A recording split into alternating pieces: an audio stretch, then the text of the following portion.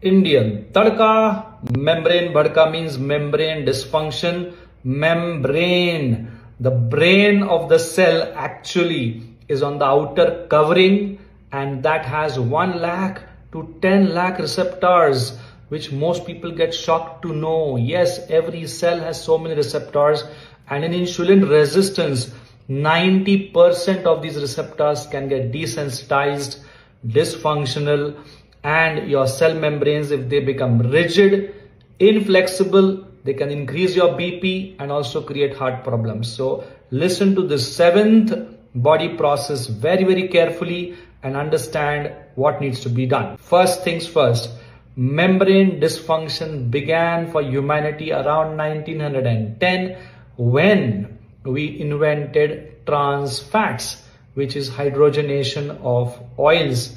It was picked up a lot by the bakery industry because that brought in crispiness and sustainability, durability of the food products so they wouldn't get damaged for long because bacteria could not break the bond of trans fat double bond. Life went on in 1950s, 60s. It was clear on rats that trans fats are creating damage to the artery linings and plaques are getting generated. But they didn't listen. And that's what Gandhiji has said. First, they will ignore you. Then they will laugh at you. Then they will fight you. And in the end, you will win. And that's what is the story in short. First, the authorities ignored the whole game of trans fats till 1980s almost. And then with refination of oils also happening and reusing of refined oils, which is there in every street of this country and many households also, the trans fat generation created more problems.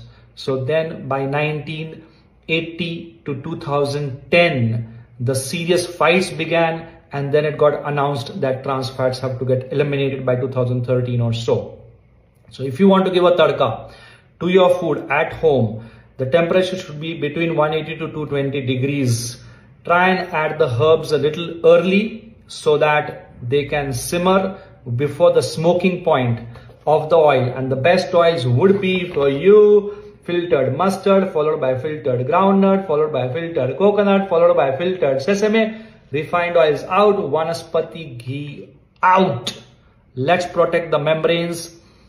A cell cannot live without the membrane even for minutes, but without the DNA and nucleus, it can live for hours or days. That's how mem important membranes are. Focus on their integrity.